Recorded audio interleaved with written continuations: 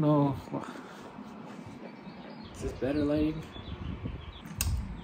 Well, this is kind of a spur of the moment thing. I was thinking to myself last night, probably should start filming again uh, because I haven't made one in a while.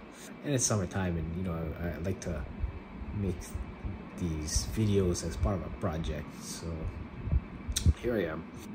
I think one of uh, the hardest things of you know this whole being in a wheelchair, living life with spinal cord injury and paralysis uh, that I haven't shown yet is uh, getting up in the morning.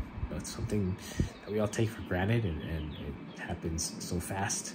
Uh, however, that changes when you know you're paralyzed and uh, you have to rely on other people to help you to get up. Um, I mean, I'm sure there, there are ways that uh, I could be more independent in the morning, um, but I've accepted the fact that uh, it's a lot faster if I if I get help. Um, so I'm here. It's about I don't know, almost 7 a.m. on a Sunday, and uh, waiting for my caregiver to come. Usually come every day around seven o'clock, wanted to film just kind of the process and what it's like every morning um, for me to get ready. So here we go. All right, so here is the scene of a crime for when my caregivers come in the morning.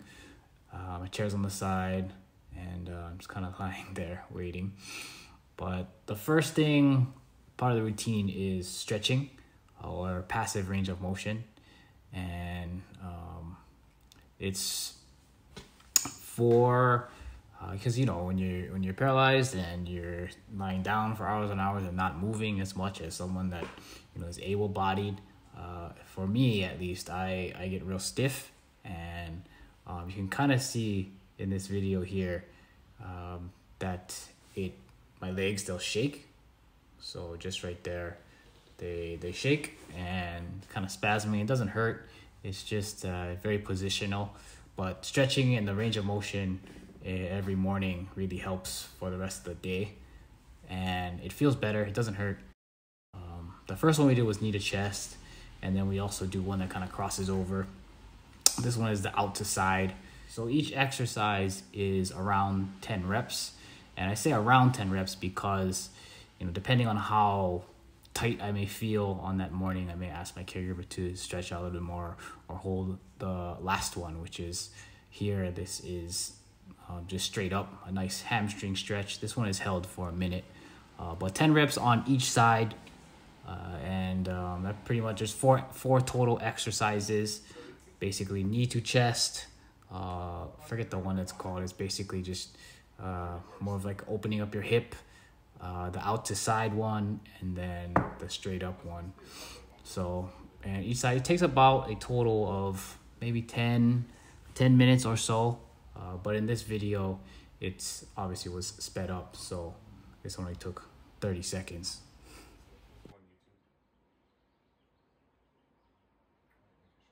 So once stretching is done, uh, my caregiver will bring in the shower chair so that uh, I can go to the bathroom. Uh, here is the transfer from the bed to the shower chair. Um, obviously need to take off underwear before going into the shower. Um, so I sit up, he helps me sit up. And this is what I mean by, you know, accepting help and, you know, I'm sure I can be more independent in this area. However, I have accepted, you know, just, just have someone transfer you over onto the shower chair. It's so much faster. Look at this three, two, one, boom. Okay, look how easy, right? Um, and also watching this video makes me really, really just kind of see how like skinny and white my chest is anyway. But uh, so this transfer is there. It's uh, assisted transfer. Again, you see my caregiver, he's not using his back or anything. He it's more of a pivot kind of transfer. So leaving my room, Going to the bathroom. This is my one bedroom apartment here in Hawaii. And it is in fast motion. So once I get into the bathroom, uh, I don't go directly to the shower. We actually do what's called a bowel program. All right, so once I'm over the toilet, I do what is called my bowel program. Okay, and I'm gonna take some time to explain this because this is, again, this is probably the hardest part of the day or even just kind of adjusting to it. Um, and I know some, so those of you who have a spinal cord injury or are quadriplegic and have um, familiar with bowel programs, super fun, yeah? That's a joke. It's definitely a change and, and one of the hardest things that you needed to adjust to, at least for me. Uh, unfortunately, one of the uh, cool other side effects of spinal cord injury and being paralyzed is you lose your ability to go number two and also number one. But that's another, I'll, I'll talk about that later. But uh, yeah, you, so you cannot really go on command like you used to. So you have to train your body. So I've trained my body over the years to go every day in the morning. And to do that, I also use what's called enemas, or like a mini enema. Uh, and it looks like this. It's not very, know, it has like a, there's like medicine on the bottom. And then obviously this part goes up into yeah over there.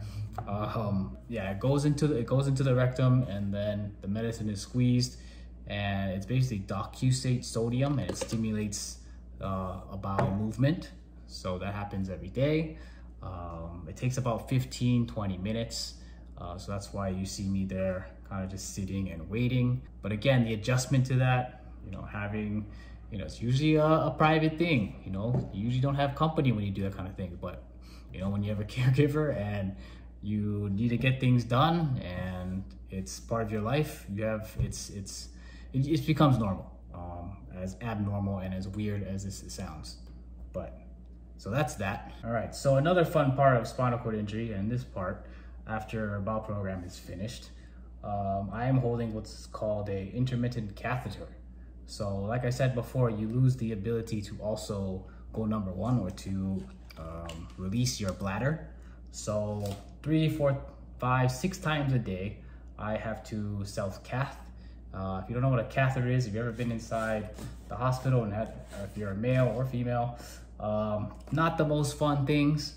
Um, can't see anything here in this video, but essentially that tube, um, that is, it's a long tube that goes all the way to your bladder and there's a hole on the end and it's connected to an extension tube in which urine can come out. Um, I do not have a suprapubic catheter. I have, you know, it's just it's just normal. So you can imagine where that goes. Uh, it looks like this. Um, obviously, it needs to be long so then it can reach to the bladder. Um, I've you know I've been doing this for 11 years. Is it painful? It was. Uh, now it's just everyday thing. Just feels like pressure. Um, but super fun stuff. All right, so once I am done emptying my bladder and catheterizing, I'm not sure if that's a word, but once I'm done with that, it is finally shower time. And you can see from this, my shower isn't the typical bathtub. Uh, this is what we call a roll-in shower. There's a little bit of a lip, but I can get over with a little bit of help. So once I am in the shower, it's pretty much like a car wash. Um, my caregiver gets places where I can get like my back, my feet, um, my butt, and it's nothing too exciting, but this is just how showering is. I do brush my teeth in the shower just because it's more convenient and super easy. So the entire shower process does take around 20 minutes, but once I am done, it's the same way I got in, just backwards and you really can see how easy it is with the roll-in shower, not having to deal with like a tub. My caregiver does help me with deodorant and lotion. Again, just keeping skin, you know, as healthy as I can. But that's pretty much it for the shower. So once I'm finished with the shower, uh, head back to my bedroom so I can get changed. This view's funny because it looks like paranormal activity. Um, you can see I'm in my room once in my once I'm in my room, my caregiver will grab uh, or ask me what I want to wear for the day. Uh, grab my shirt and my pants. I can usually do the first part of my shirt, and then it kind of gets stuck. So I'm wearing like a crop top, you can see, and so sometimes I need help like pulling it down. So then it, you know, looks all nice. Um, but yeah, so this is another transfer here. We're about to get ready for a transfer from the shower chair to the bed. And again, again, what this is just an assisted transfer. I'm helping him. You, can, you can't see my hand on the other side, but it's kind of pushing and giving an extra little bit of support. So once I'm in the bed, uh, my caregiver helps, you know, kind of dress lower body. And again, I think this is an area where, you know, I know I can be more independent. However, you know, it's just so much faster when you get help. Um, also, I have a theory of why I'm kind of stubborn and don't really take much help throughout the day is because every morning I'm kind of going through this and having to, you know, just be reminded like how much help and how much aid I need just to get up in the morning. So, and this here, my caregiver is putting on this silicone type lotion for my backside because I am in the chair quite a bit, and sometimes when I transfer, uh, my skin gets a little damaged and just kind of it's a little rough area back there. So we just kind of make sure we monitor that. Um, but yeah, pants are on, shorts are on. Also, look at my tan lines. My goodness.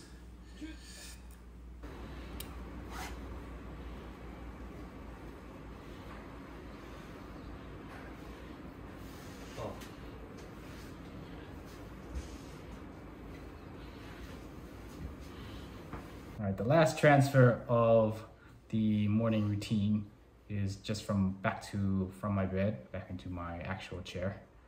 And again, it's another assisted kind of pivot. Boom, boom, nice and quick. Oh man, I really gotta tan my thighs. You can see like, because uh, I gotta pull my shorts down here. And then that's why they are not tan. When you're in a wheelchair, that's what happens. Um, but that is uh, that's that. And you know, through the magic of YouTube, it made it seem like this routine was only 10 minutes. However, you know, the total time is around an hour and a half, sometimes a little bit longer, depending on the day, or shorter, which is also nice. Um, but yeah, that's uh, that is my routine. If you guys have any comments or questions, let me know. Um, you guys know what to do. I'm not gonna tell you, not gonna tell the YouTube how to YouTube. Um, but yeah, until the next time, uh, I don't know when that will be. Um, I'll see you guys. Cat. Cause